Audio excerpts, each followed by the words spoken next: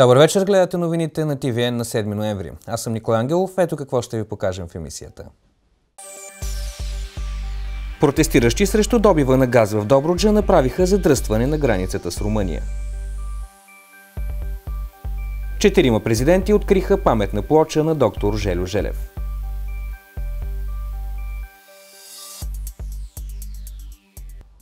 За лоша зъбна хигиена и незаинтересованост на родителите алармират заболекарите в Силистра. С бавни темпове върви профилактичната програма за предотвратяване на кариеси при деца от 5 до 8 годишна възраст. Един репортаж на Незабравка Кирова и оператора Александър Леви. Масово децата посещават заболекар едва когато проблемите станат сериозни. Затова и се стига до осложнения след появата на кариес. Мога да кажа, че хигиената на децата като цяло е доста лоша и изобщо родителите като цяло не обръщат внимание нали, на зъбния статус на децата. Имат примерно изостанали зъби млечни, другите са поникнали, изкривени, нямат време да, да ги погледнат. Наблюденията са, че програмата за силанизация върви тромаво, при все, че е единствената действаща профилактична програма за деца. Родителите просто са свикнали ние да отидем до тях по някакъв начин, както в нашето поколение, да има в училище кабинет. Това, което става в устата, се отразява на цялото ни тяло, това, което става в другата част на тялото ни, се отразява в устата. И това българинът крайно време да го научи. Стига се до там вместо родителите, учители да водят децата на заболекар за поставяне на силанти. Довериха ме се и аз ги водя, защото те под нямат време, но са за тази програма. Изобщо нямам страх. Грижа се за зъбките, като се ги мия сутрин и вечер. Просто ми сложиха нещо като лекарство за зъбчетата и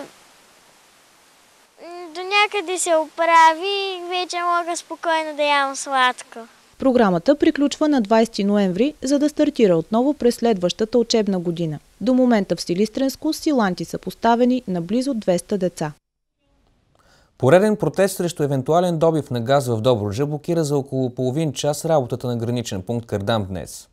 Протестиращите се надяват гласът им да бъде чут и чрез местния референдум, насрочен за 17 декември. Около 50 автомобила се събраха в делнишния ден пред гарата в Генерал Тошево и потеглиха в протестно шествие към село Кардам. На контролно-пропусквателния пункт с Румъния се образува колона, която забави преминаването през границата. Протестиращите влизаха и излизаха от северната ни съседка, с което забавиха преминаващите, но без ропот и инциденти. Те отново настояха концесията да бъде развалена. Дошъл съм да изразя по своя начин своето виждане и протест срещу добива на газ в Добро. Аз не мога да се представя, че при наличието на един основен постулат в Конституцията, че земеделската земя представлява национално богатство, че нейният статут може да бъде променен единствено и само при доказана нужда. А за мен и за моите съграждани аз не разбрах кой и кога доказа, че е на лице такава доказана нужда от промяна в статута. Местните жители искат да бъде направена ретроспекция на целия процес по даване на разрешителното за проучване и добив на газ от 2004 година насам. Те искат да знаят и доколко процедурите, включително по удължаване на срока в годините, са законни. Музеен урок, посветен на патронния празник на училище Любен Карвелов, се проведе във Въздроженското училище в регионалния исторически музей в Добрич. В него се включиха ученици от втори клас на учебното заведение, които показаха завидни знания за своя патрон. В автентичната обстановка на Възрожденското училище в регионалния исторически музей бяха представени интересни моменти от живота на Любен Каравелов. Ние решихме да направим един музеен урок, който да покаже на децата един различен прочит на Каравелов, на техния патрон, а да разкажем повече за неговия живот, за неговото творчество, за нещата, които той ни завещава. Второкласниците показаха, че добре познават биографията на своя патрон.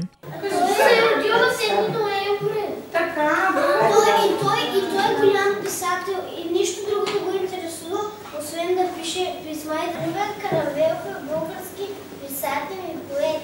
Той е участвал в борбата на България от османска власт. Роден е 1834 година в град Кривчица. Музейни специалисти въведоха децата в света на историята с много занимателни задачи и изненади, свързани с живота и делото на Каравелов. В урока бяха включени и забавни, интерактивни игри. Една от тях беше наречена словослагател. Децата трябваше да подредят и отпечатат думите свобода, независимост и знание. Вашата задача е от тази кутийка да извадите тези буквички, които ще съставят, чувате ли всички? Името на първият вестник, който Каравелов издава – Свобода. Урокът продължи с най-запомнящите се мисли на Каравелов. Обичам те, мое мило отечество. Това е едно от първите неща, на които децата трябва да бъдат научени. Да обичат родината си, да обичат близките си. Защото оттам тръгва и обичата към самия себе си. Дългогодишни преподаватели в Русенската Алма Матер бяха отличени днес с благодарствени дипломи по случай Деня на Русенския университет. На официалната церемония бяха връчени дипломите на придобилите образователна научна степен доктор, а студентите, завоювали призови места на национални и международни олимпиади и състезания, бяха наградени. Русенският университет днес и утре беше темата на академичното слово, което произнесе доцент Таня Грозева в началото на церемонията. Ректорът на Русенската Алма Матер, пък професор Велизара Пенчева, сподели кои са основните предизвикателства, пред които е изправено висшето учебно заведение. Предизвикателствата са много. Предизвикателствата са на времето, но може би трябва да откроя две. Това е демографската криза и намалелия брой кандидат студенти – и съвременната глобализация, която ни поставя в директна конкуренция с много международни висши училища. Предизвикателствата на всяко време са различни, каза още професор Пенчева. Един от отличените днес преподаватели, станал свидетел на тези предизвикателства, е бил и един от първите студенти на Русенския университет, професор Иван Неделчев, обучавал над 8000 студента. Тази година професор Неделчев навърши 90 години. Преподавател по теория на механизмите и машините, професорът сподели някои от най-ярките си спомени. Ние първите студенти бяха една, бяхме една смесица от възрасти, от съдби, фронтоваци, политзатворници, партизани, дошли от други държави. Основан като висше училище, профилирано в селско-стопанско инженерство, днес Русенският университет подготвя кадри за едни от най-търсените професии. Към настоящия момент елитното висше учебно заведение обучава своите студенти в 50 бакалавърски и над 80 магистърски специалности. Иновативните практики на обучение и изследвания, равняващи се по европейските и световни стандарти, отреждат достойно място на университета в националното и европейското пространства за образование и изследвания. Паметна плоча на първия демократично избран български президент, доктор Желю Желев, беше открита в Смядовското село Веселиново.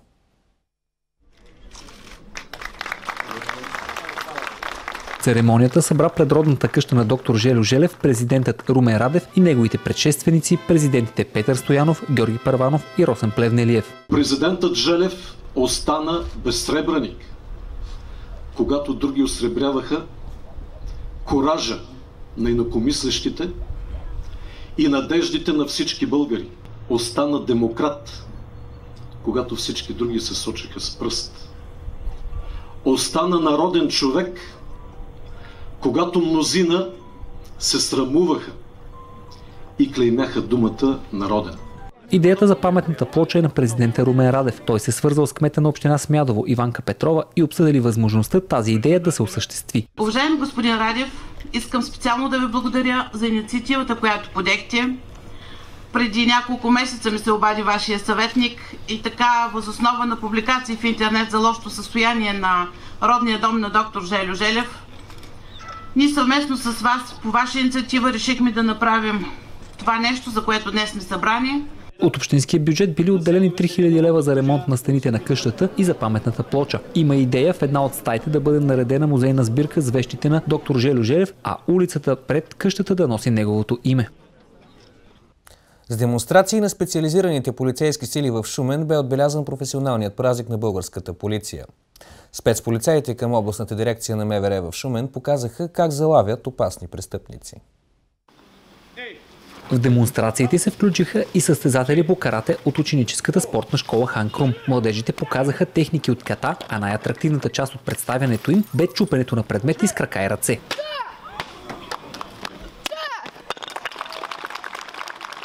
Специализираните полицейски сили показаха различни техники за самоотбрана, тактически действия като спускане на рапел, задържане на особено опасно лице и задържане с помощта на следово куче.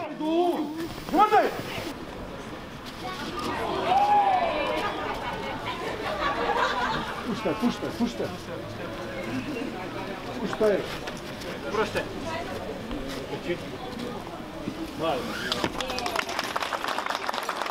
Риска, риска е такъв какъвто ни си го направим. Значи, ако планираш добре и изпълняваш всичко, тактическите указания добре, риска се свежда до минимум. Когато екипа е сработен, аз много пъти съм казал и футболистите тренират, могат да играят футбол, но тренират редовно, нали така? Същото е при нас. Тренираме редовно, за да сме добри и да сме по-добри. Риска се свежда до минимум, когато си добър професионалист. По повод празника награди за своята служба получиха 43 служители на областната дирекция на МВР в Шумен. Пренасяме се в старата столица. Социално слабите в областта предпочитат енергийните помощи за твърдо горило в пари. Това показа справка на регионалната дирекция за социално подпомагане в Велико Търново. Другата възможност е да получат горивото в натура. Срокът за приемане на молбите беше до края на октомври. За този период са издадени над 6000 заповеди за отпускане на помощите. От тях 5069 са за предоставяне на твърдо гориво в пари. Месечният размер на помощта през този отоплителен сезон е 70 лева. Целевата помощ за отопление се предоставя както следва. При отопление с топлоенергия, електроенергия или природен газ в пари на правоимащо лице или семейство – при отопление с твърдо гориво в пари на правоимащо лице или, семейство и, или а, на търговец на твърдо гориво, който е осъществил доставката при изрично отразено в заявление и декларацията желание от страна на лицето или семейството. От поступилите 8183 молби за енергийни помощи е направен отказ на 1650 души. Най-честите причини са, че кандидатите не отговарят на условията, като имат по-висок доход. От регионалната дирекция припомниха, че енергийните помощи за топлоенергия, електроенергия и природен газ се предоставят в пари. При твърдото гориво също е дадена тази възможност, но има и втори вариант, ако кандидатът иска да му предоставят дървата и въглищата директно до дома. Тогава социалната служба изплаща директно парите на търговеца на доставката. В продължение на 5 часа 12 противопожарни автомобила от службите на Великотърновска и Габровска области се бориха с огнената стихия в Търновския месокомбинат. Пожарът е възникнал около 18 часа и 30 минути в понеделник. Все още няма официална информация за причината, дали е производствена авария или умишлен палеж.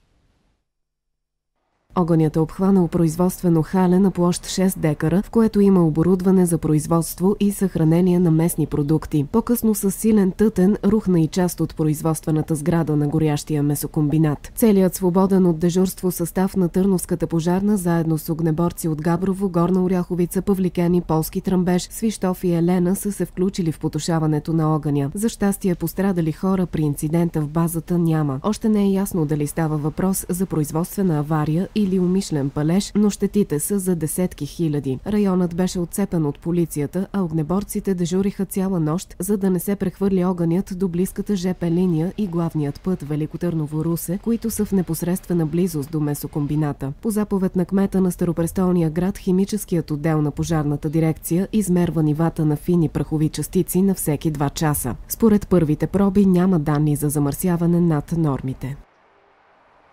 Погледи към новините от света. Сръбски митничари са задържали двама български граждани, а бреговата охрана на Италия е намерила 26 жертви на трафиканти.